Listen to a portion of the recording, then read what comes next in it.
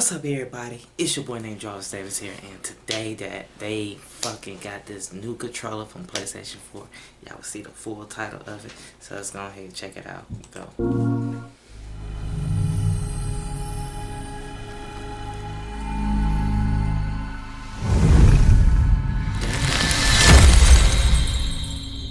my god. It's out right now. PS4 for the players. Wow. That was that was just that was fucking 20 seconds and, and that's just fucking legit, you know what I'm saying? Like, favorite, comment, and subscribe to your boy Jarvis Davis. This is just the beginning of the new reactions that I'm going to be bringing to y'all. And least that's being said. Thank y'all for watching. Peace.